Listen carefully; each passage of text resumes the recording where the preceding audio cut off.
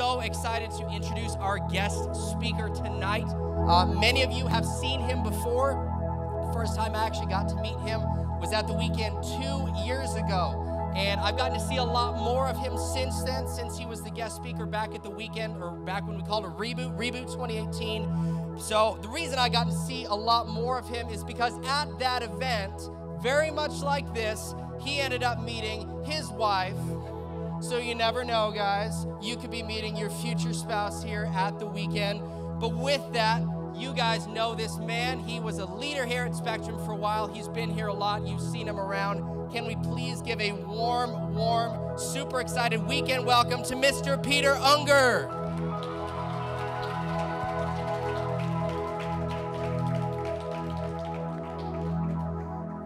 How are you guys doing tonight? I'm so excited that you're here, and um, this is an event that was canceled a couple times. So this shouldn't have happened. Tonight shouldn't have happened. Tomorrow shouldn't have happened. And I don't know if you've been planning on this the, the entire year or if you were just one of those people that signed up like two days ago.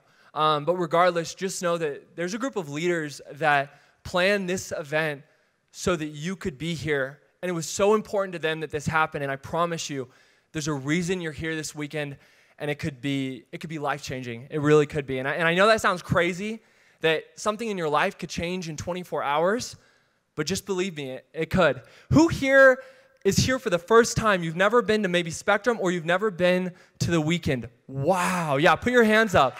Yeah, can we welcome everyone who's never been here?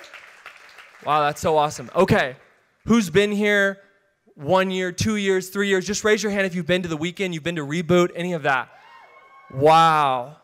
So awesome. So you guys, you guys know what this event does every single year. Well, as we kind of get started, um, I just I just want to say that you know tonight it doesn't really it doesn't matter necessarily where you're at with with community if you've been around a lot of people or this is like overwhelming this year because we've all been isolated or even where you're at when it comes to faith all of us are in different places with the idea and the reality of god and if, if this is new to you I just want you to know, even if you don't believe yet, those of us in the room that do, we have enough belief for you. We have enough faith for you for this weekend, don't we, guys? We have enough for you. And so I, I just want you to be able to work through uh, the reality and the idea of God. And if it's something that you don't yet believe in yet, I just want you to know that God believes in you. And so as we get started tonight, I just want to take a moment to pray for us, and then we're going to dive in. Heavenly Father, I thank you so much for every single student that's here tonight, every leader, every person in the room. I thank you for what you want to do over the next 24 hours in all of our lives and, and inside of us. And, and I just pray that regardless of where some of us are or aren't at with you, whether we feel so distant from you, and we don't even know if you're real, or, and for the people who feel so close to you and are so excited to just grow in their understanding of you and grow in their understanding of themselves, regardless of where we're at, I just, I ask that you would wrap us up in your love, that you would make the proof of your existence so real in every single one of our lives that every single person in the room right now would be able to end this weekend and say that God is real, that God loves me, that I'm important to Him, that my life matters, that my life has purpose, and that even in the midst of such a crazy year where none of us know where we're going, I pray that every single person in this room would walk away feeling that they have a future and a hope, feeling that tomorrow is worth living for, that there's a reason that they're here. Help us understand the reality of who you made us to be, God, and what you want to do in each one of our lives this week and make the reality of your love and your presence and your existence undeniable. I pray that you would just violate our, our view of reality, that you would that you would just change the way that we see the world, that you would change the way that we think, that you would change the way that we feel, and that you would just heal every one of us because each of us is going through something that requires some sort of healing in our life, whether we care to admit it or not. I pray this in Jesus' name. Amen. Amen. Okay, well, we're going to jump right in because we don't have a lot of time together. I have spent the past four years of my life following Jesus and falling more and more in love with who he is.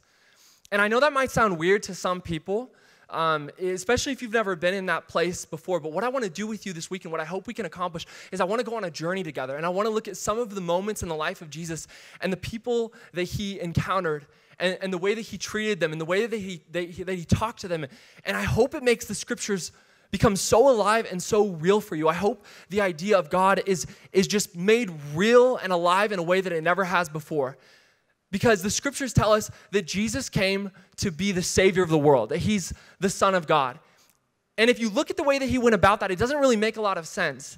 Because the first thing that you would do, maybe, if you were God and you were coming to be, become a human being and to save the world and to save people, is you'd probably be born into the right family maybe a family of royalty, maybe a family of wealth, so that you have an upper hand and that whatever message you're trying to share with people all around the world, you can get it out there quicker, right? You would probably want to spend time with people who were influential, people who had power. But this isn't the reality in the life of Jesus. You see, what the scriptures show us is that Jesus' life started in poverty, that he started his life 2,000 years ago in a family that had nothing and that when it came time for him to start building relationships and building friendships and spending time with people, the people that he chose to interact with, the people that he chose to communicate with, were the poor and the marginalized and the forgotten and people that most would just see as invisible and not even acknowledge when they passed by on the street. This is the way that Jesus chose to interact with, with humanity. This is the way that he chose to come. And what's, what's crazy about that is that Jesus' life, it looks so human when you really look at it. But then there's a piece of it that is completely unexplainable because of the miracles that he performs, the people's lives that he heals. He changes the way that people think, he changes the way that people live by healing them of sicknesses and diseases and, and things that have made them outcasts in society. And, and this is the way that Jesus' message grows. And so we see both such a human life but it's so clear that he's also just as much human as he is God because Jesus is doing the miraculous and, and, and, he performs these amazing miracles. And it's, it's something that shows us that Jesus is both, he's uniquely spiritual, but he's profoundly human. And so many times it's easy for us to, to look at the scriptures and to look at the Bible, and what we see is we see a life um, and we, uh, of Jesus and we think, oh, well, he's God. That's why he was able to do that. What we don't understand is that he was fully human as well because he came to show us how beautiful being human can be.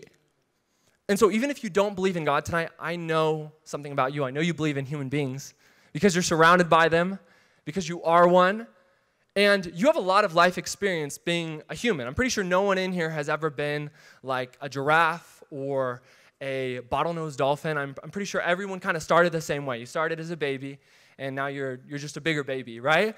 so every single one of us is a person. So, what I want to do real quick, I want to take just 30 seconds, and whatever you're taking notes on tonight, whether that's a phone or you're grounded from your phone and you don't have it and you're taking notes like old fashioned pen and paper, I want every single person in the room to do this with me real quick. And I just want you to write down in like bullet point fashion what it means to you to be human I want you to write down a few words and describe what you think it means to be human.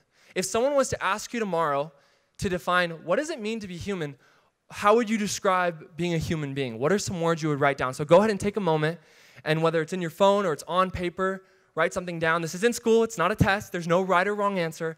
I just want you guys to take 30 seconds and write down what you believe it means to be human.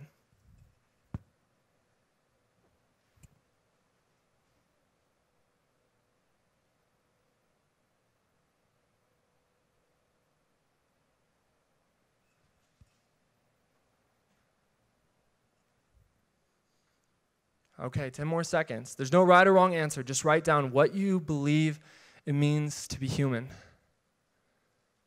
Okay, our time is up. So, I just want to hear someone just start shouting them out. Shout down some of the words you guys wrote down. Say, say them a little bit louder.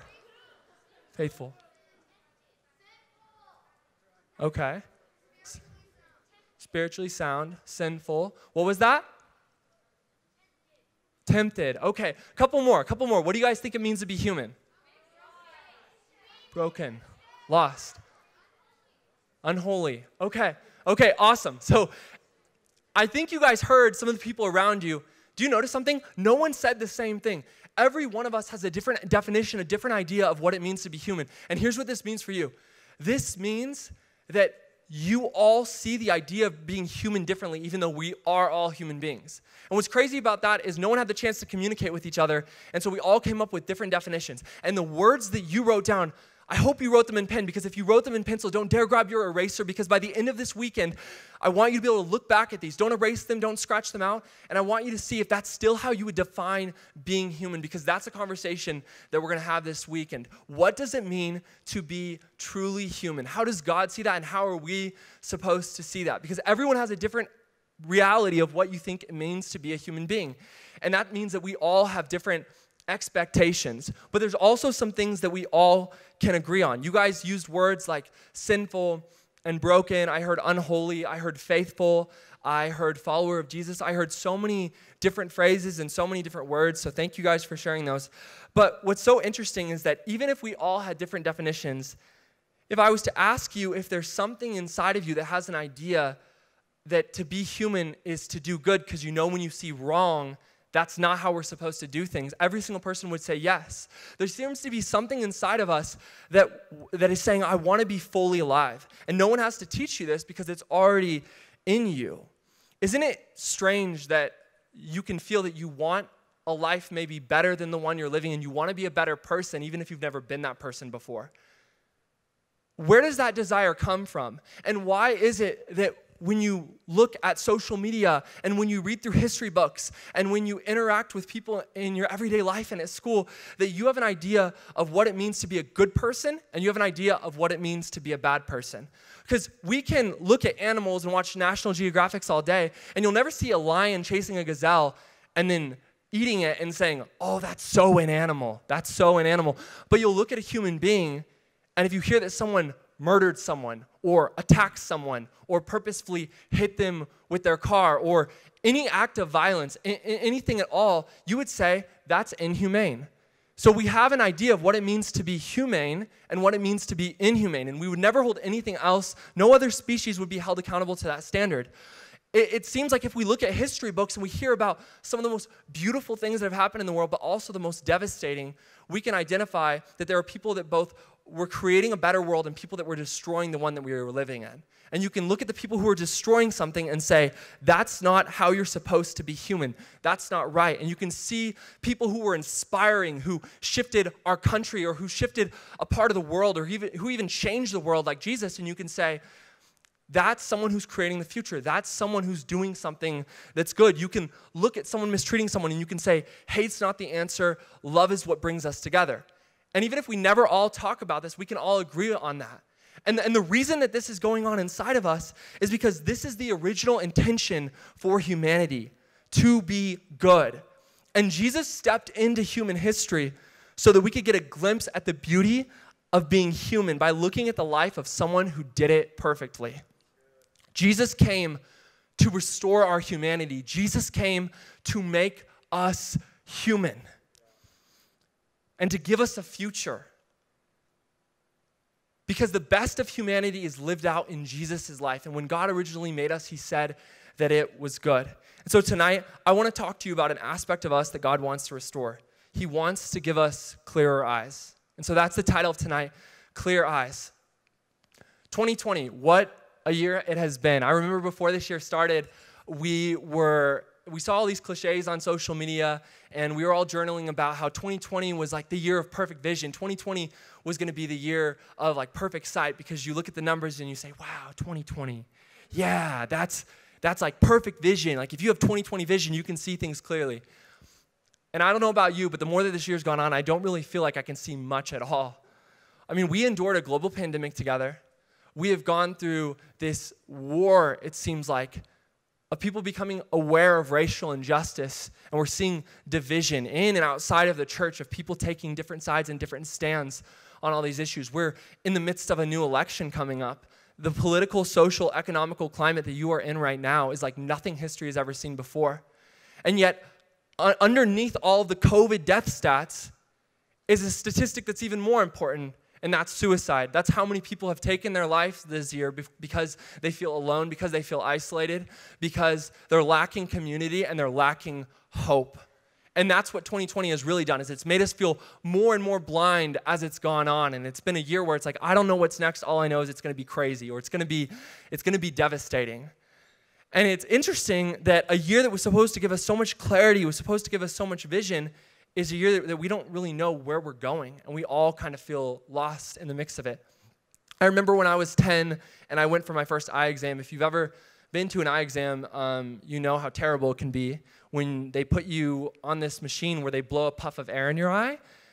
And every single time, I've been doing this for 13 years now, I've gone every year and I like my eyes twitch and they water and, and the person that goes back there with me is always so frustrated because it takes like 10 minutes to get me through this. So if you ever want to like torture me, all you have to do is lock me up in a room and have someone like blow air in my eyes over and over again and I'm and I'm done for. But once we got past that part, got back to see the doctor and he showed me all these different letters on the other side of the wall, and I remember just looking at them. I'm like, why does he think I'm going to be able to read these?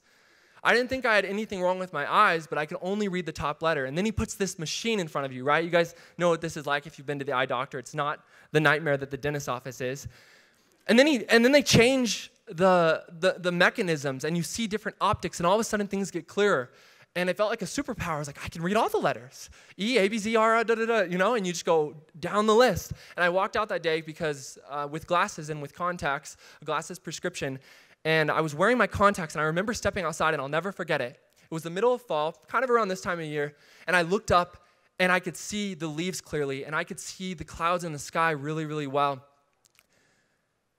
And I had never known before that my eyesight was bad until I could see clearer. And it was this moment where, like, my perspective shifted because I didn't know that there was a better way to see until I was told that I had bad eyesight. I think it's easy to dismiss a problem you don't think is your problem. Most of us dismiss blindness because we know that we can see, but what if I told you that you're seeing with a fraction of the sight that God intended you to see, and not just your literal eyes? I'm not saying that everyone here needs to go get glasses tomorrow. I'm saying that there's a lens and a way which you can see the world if God gives you the clear eyes and the new eyes that you need. And this new sight allows you to, to, to move from seeing in black and white, from seeing the world bleakly, from only seeing what's wrong with the world, to seeing the world in color, to seeing the vibrancy and the beauty and the wonder of the world and, and the people around us. It moves you from being nearsighted, where you can only see what's right in front of you and you feel like there's no future and it's just, it's distant and it's foggy and it's unclear, or maybe you're farsighted and you can only see what's ahead and you're just waiting for the next thing. That's what will make me happy. The next relationship, next year of school, when I'm finally in high school, or when I'm finally in college, or when I finally get a job. But you can't see what's in front of you and you're not happy with what's in front of you. And so you're missing the presence of being with the people who are right in front of you. Whether you're nearsighted or farsighted, or you're seeing in black and white, the reality is, is that every single one of us wants 2020 vision. Every single one of us wants to see life clearly and to see to, to see the beauty of the world in the way that we were designed to. And this is the craziest thing about glasses and contacts. I've been wearing them for 13 years, and the more I wear my contacts, the worse my eyes get. So the thing that's supposed to be helping me see is actually, in the end, making me more blind. And one day I'll have to get LASIK surgery to fix my eyes.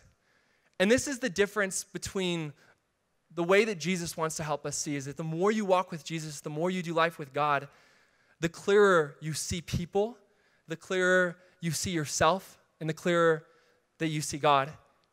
And so tonight, I want to look at a story in John chapter 9, beginning in verse 1. It says, Afterwards, as Jesus walked down the street, he noticed a man blind from birth. His disciples asked him, Teacher, whose sin caused this guy's blindness? His own or the sin of his parents? Jesus answered, Neither. It happened to him so that you could watch him experience God's miracle. While I am with you, it is daytime, and we must do the work of God who sent me while the light shines. For there is coming a dark night when no one will be able to work. As long as I am with you, my life is the light that pierces the, world dark, the world's darkness. Then Jesus spat on the ground and made some clay with his saliva, and then he anointed the blind man's eyes with the clay. He said to the blind man, Now go and wash the clay from your eyes in the ritual pool of Siloam. So he went and washed his eyes and his face, and he came back and he could see for the first time in his life. So Jesus notices this man that no one else sees. And the first thing his disciples, his followers, ask him is, Whose sin caused this man's blindness? His own or the sin of his parents? And the reason they asked this question is because in their culture, they believed in something called prenatal sin, where you could actually make mistakes and you could sin in the womb. Talk about an unfair life. And so you can make these mistakes before you're even born, and then once you are, you have to deal with the penalty of those sins. And that's why they believed some people were born disabled, some people were born with different illnesses.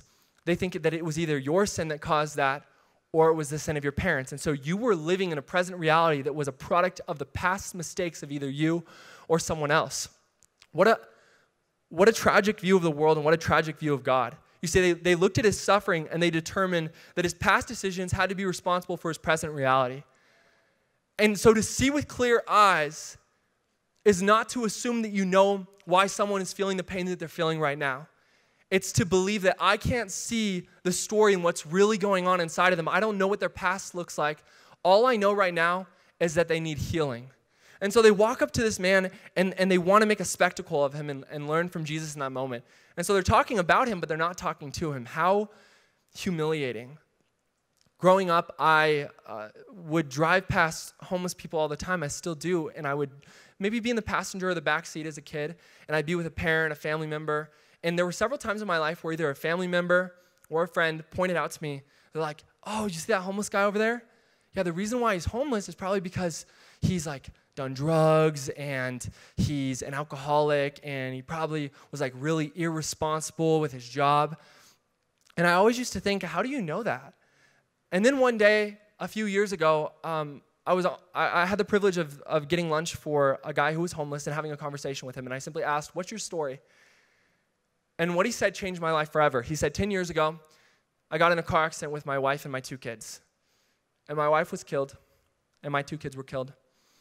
And I, and I went into such a severe state of depression that I wasn't able to work anymore. And so I eventually lost my home.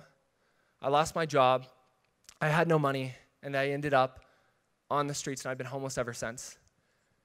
And when I heard that story, his story, and I saw him for what he was, which was a human being that has a past that's not necessarily always responsible for, for their reality, I realized that sometimes bad things happen to good people, and that doesn't mean that they deserve that to happen to them. To have clear eyes is to see people more accurately, it's to see people in a way where we don't assume that we know why they're at where they're at.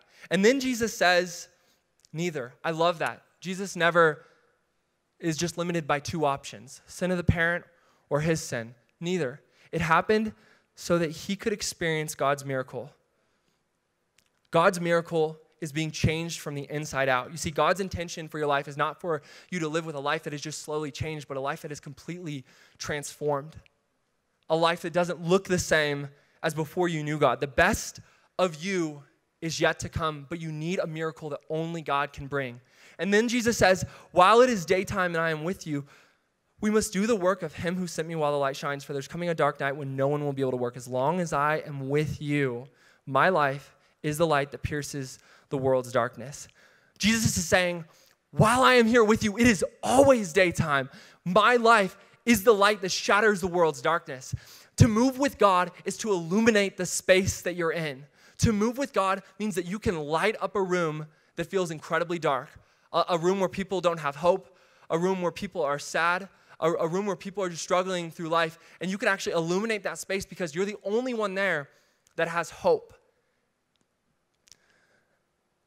And then Jesus does something really odd. He's, it says he spits on the ground and he makes some clay with his saliva, and then he anoints the blind man's eyes with the clay, which is just a fancy way of saying he made clay and then he put it on the guy's eyes. And you got to remember that this man was blind, but he wasn't deaf. He can hear that Jesus is coming with his disciples. He, he can hear the rumors of God that people are talking about. Here comes a man who can heal people. Here comes the Messiah. Here comes someone who can help blind eyes see for the first time and lame people to walk. And the first thing that Jesus does when he gets to him is he spits on the ground in front of him. This was something he was so used to the humiliation of, of people spitting in disgust, spitting because they walked by him and, and, and they thought, just like the disciples did, that he had sinned, and that's why he was the way that he was. So here's Jesus doing something that seems so humiliating. And in, in that moment, imagine being this man and, and thinking just another day where I'm on the side of the road and I'm begging and someone is spitting. And, and I don't know about you if you've ever spit to make mud, because I haven't. But I think it takes a lot of spit. I think it takes a lot of spit to make mud. So I, I don't think this was like some like like girly spit. I think this was like some man spit, like like some big like like I think this was like a lot of spit, okay? And I've heard different like theologians and different people who study the Bible their whole life, and they say that, oh, well, it was divine spittle. Like, that's like the fancy word for when you want spit to not be gross, even though it still is. Divine spittle. Jesus' spit was, was, was the spit of God, and that's why this man was healed. It's like, I think this was just regular spit. I think this was just really gross, nasty spit. And I know that if you spit and it's not in your mouth anymore, you probably don't want to put it back in your mouth. Like you're spitting right now. Just, just accept that. Just swallow. Just like feel the spit in your mouth.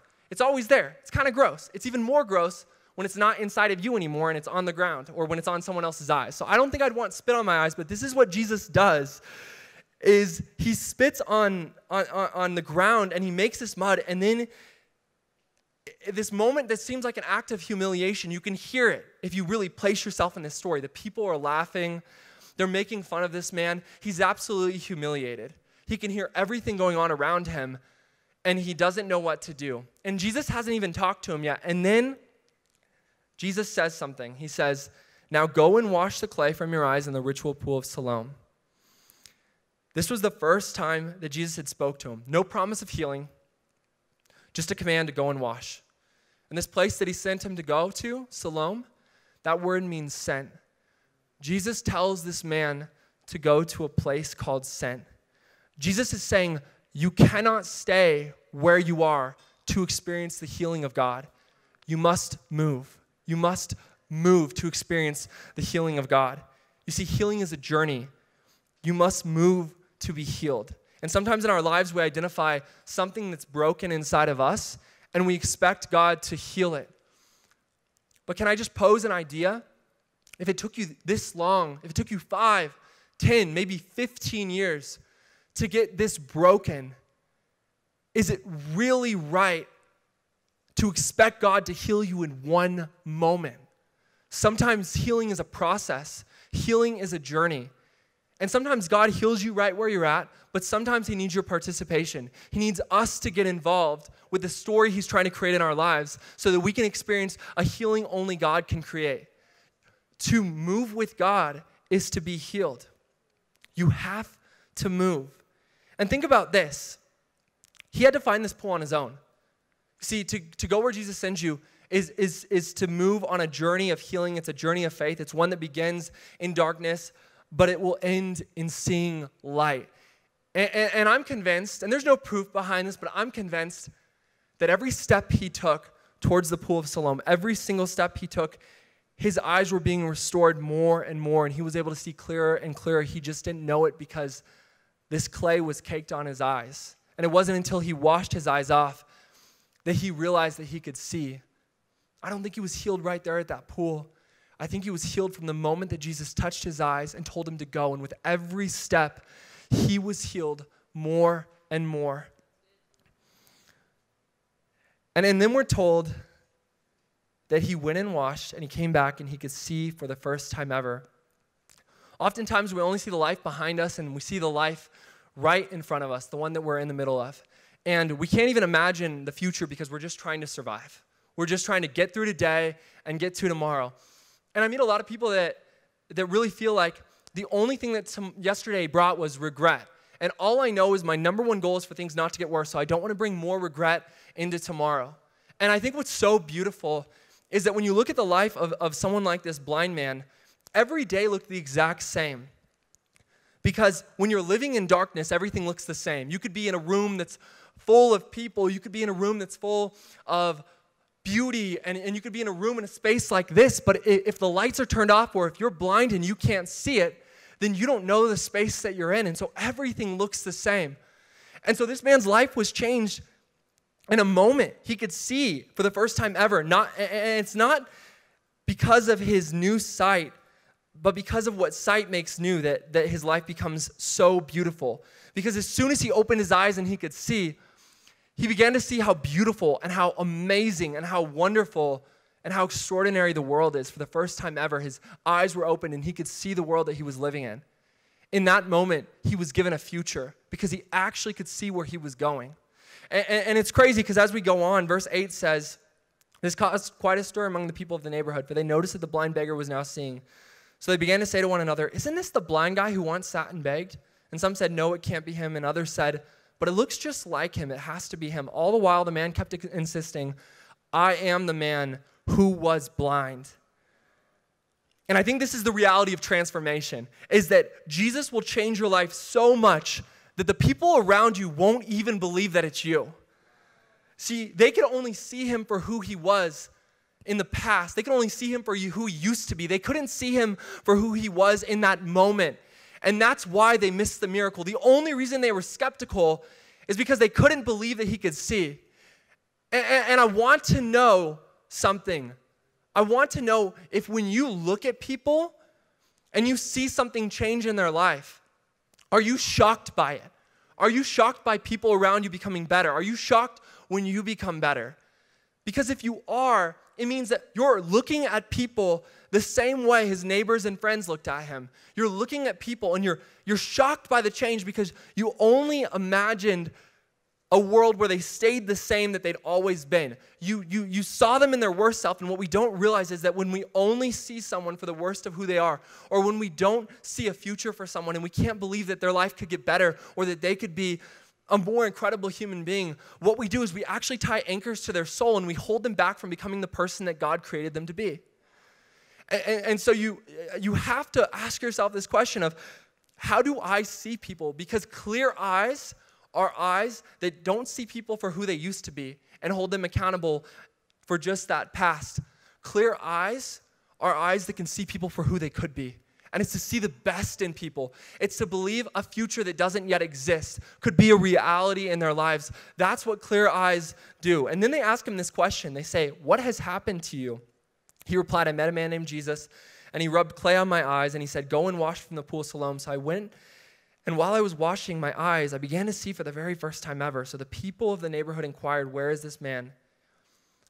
I have no idea, the man replied. They ask him, What has happened to you? And this is the question that I want to be asked every single day of my life. What has happened to you? You see, your life could actually be the best conversation starter about Jesus. Your life could be the best conversation starter about how amazing God is because your life looks so different from the people around you. And so then they decide to take him to the Pharisees, which are religious leaders um, that kind of oversee the people. And they were upset because he was healed on the Sabbath. And this was just a day that you weren't supposed to work, you weren't supposed to do anything. And so Jesus had violated that. And the first thing that they ask him is, What happened to you? And he says, I met a man named Jesus and he healed me. They say, Who do you believe Jesus is? And he says, He's a, he's a prophet. And they didn't believe him, so they ask his parents to come in to validate this. And they ask the parents, and the parents say, Yes, he's our son, and yes, he was born blind but we don't know what happened to him. Just ask him. He's an adult. And the reason why they, they point the finger back on him is because they were so afraid of being rejected by their community. You see, they were part of a community where if they claimed, yes, he was healed, this is amazing, they would actually be kicked out because they believed that, that Jesus had done a miracle on the Sabbath, and this violated everything that they believed. And so they were so afraid that they didn't do what's right. You see, to have clear eyes is to do what's right even when you're afraid. It's to have courage to stand in front of people who intimidate you and to still say the truth. This was their actual son, and they didn't even say the truth about him. They just said, Yeah, he's, he's been blind since birth. Um, we don't know what happened to him. You, you go talk to him. They weren't even amazed by the miracle enough to be courageous enough to tell the religious leaders what was going on. And we have to be careful that we're not as blind as these religious leaders who could not believe that he had been healed because they had never experienced that kind of transformation in their life. And so they were skeptical that, that someone's life could be changed instantly. And then finally, they bring him back in and they, and they say, Promise to tell us the truth. Do you think Jesus is a sinful man? And he says something amazing. He says, I don't know what kind of man he is. All I know is that I was blind and now I can see for the first time in my life. And so they ridicule him and they end up kicking him out.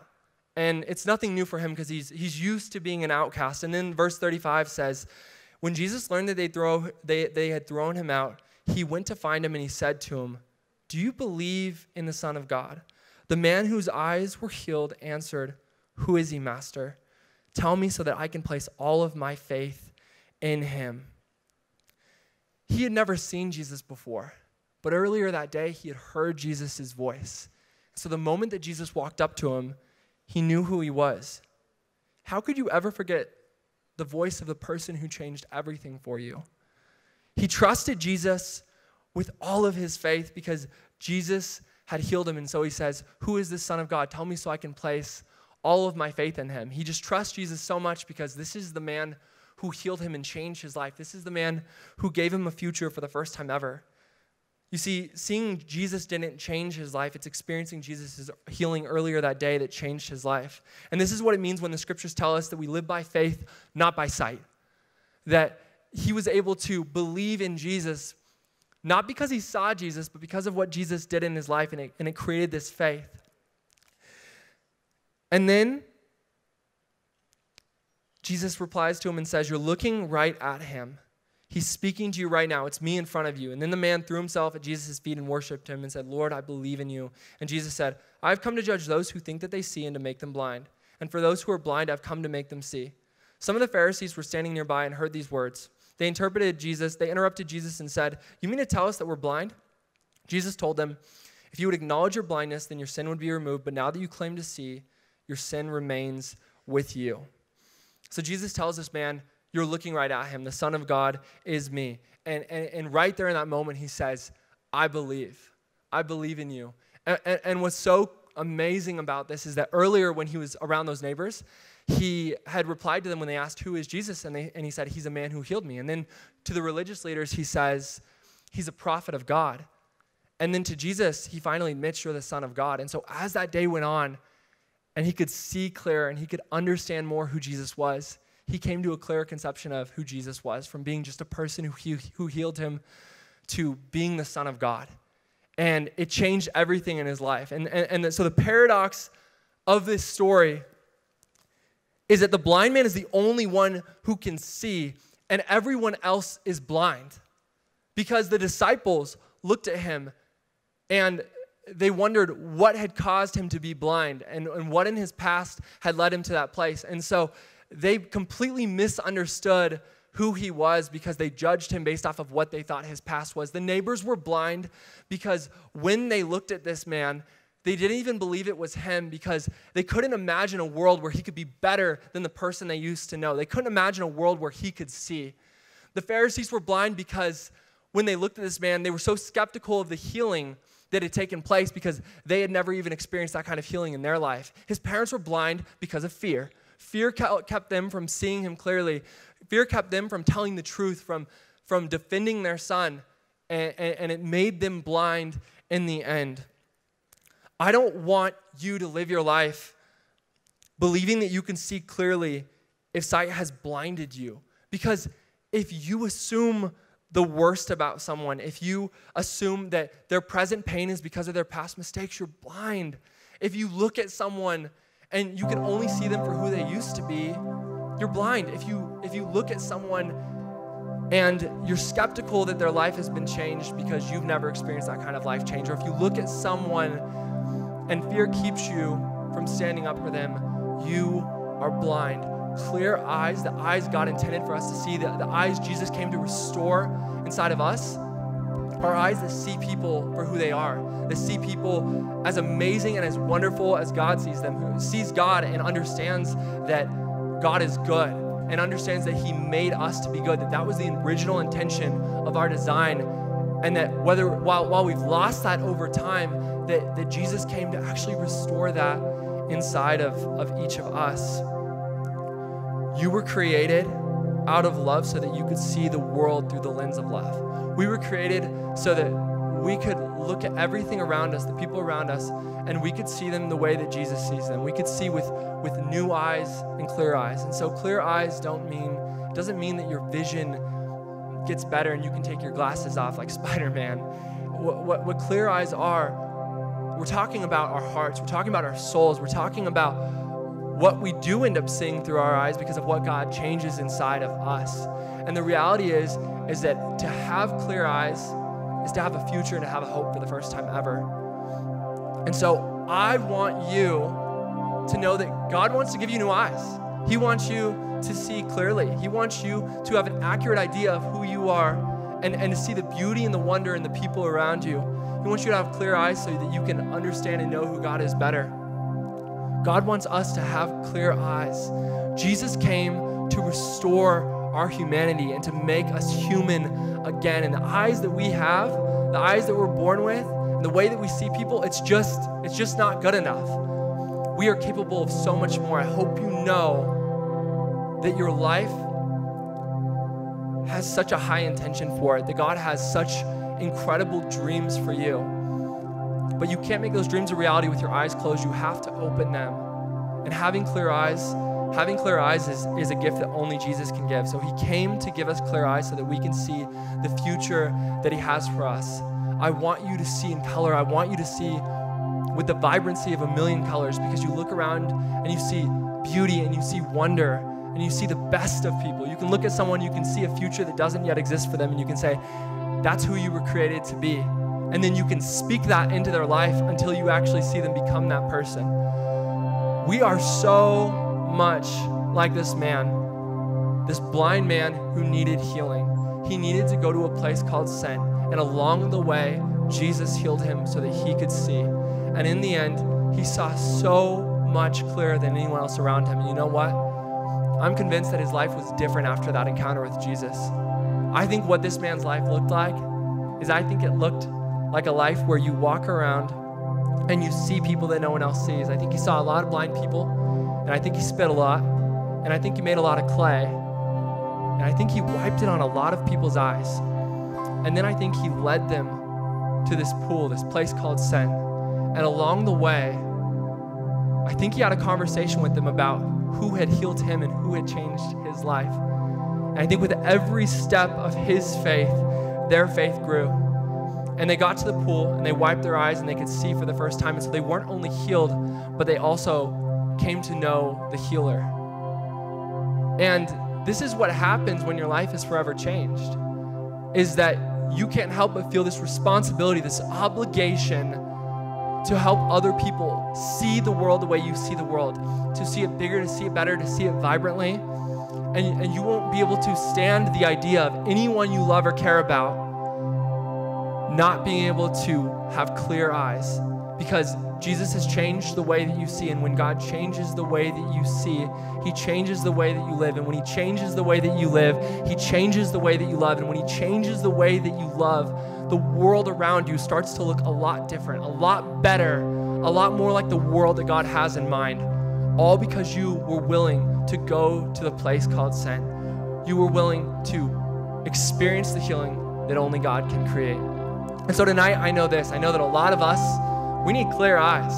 I know that we need to see things the way that they are. We, we are the best of what God has created in this world. Human beings were created in God's likeness and in His image. And I want you to know that this life is not possible unless you have Jesus. It's only with Jesus. This is the catch is that we can't have clear eyes. We can't have our eyes restored. We can't have new vision or new sight so I want you to know that some of you, maybe tonight, you need to cross the line of faith and you need to give Jesus your life.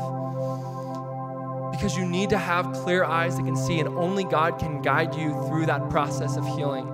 I know some of us, we need to be healed.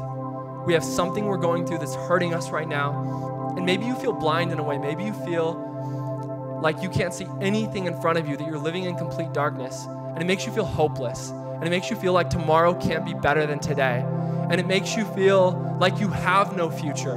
And so, even as we're having this conversation tonight, the idea of having a future better than the reality you're living in right now isn't even something you can comprehend. You don't have the strength for that. And, and, and if that's you tonight, I want you to know that following Jesus is a commitment and a decision that can change everything in your life. And it's, it's the one, it's the decision that some of us need to make so that we can have clear eyes and we can finally see the way we were created to see. Will you guys bow your heads with me for just a moment?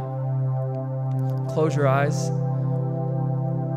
If you're here tonight and you want to see clearly, if you're here tonight and you feel like you've just been living a fraction of the way that you're supposed to, that you don't see people the way that you want to see them, that you don't even see yourself the way you want to see yourself, that you look in the mirror and you you miss the beauty and the wonder of who God created you to be because you just can't imagine that you are a good person.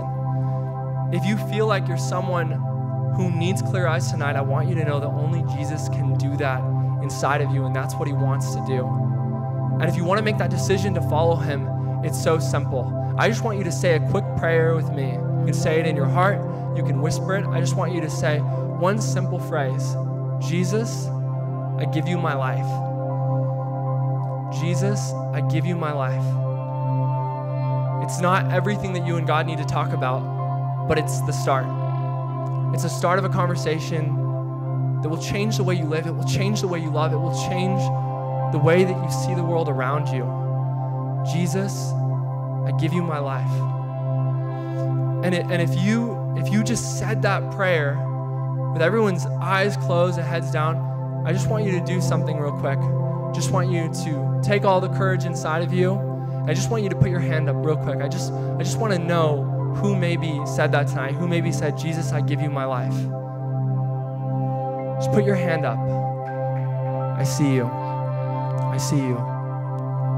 Is there anyone else? Is there anyone else that just said that? Just said, Jesus, I give you my life. Hands all around the room. So amazing. You guys can put your hands down. I just want to pray for you real quick. Jesus, we thank you for every boy and every girl today who said that prayer, Jesus, I give you my life, who made that decision to cross the line of faith. And God, I ask that this weekend you would just wrap them up in your love, that you would just start to show them the eyes that you have for each of us and how clearly we can see and how beautiful it can be. God, I ask that you would open all of our eyes, that you would just create healing inside of us. Everyone tonight that, that prayed that prayer, and for everyone who didn't, I ask that you would just bring us to a place called Sent, that you would lead us and that you would heal us along the way so that we can become the healing that other people need in the world around us. Jesus, God, we thank you for your son, Jesus. We pray all this in your name. Amen. Can we just thank God for all the people who responded to him tonight? Hey, we have a big conversation to have this weekend, and we're going to keep going tomorrow. We're going to talk about what it means to have full hearts, what it means to have a new future. So do whatever it takes to get here tomorrow morning. Do whatever it takes to get here tomorrow night because you don't want to miss what God wants to do inside of your life this weekend.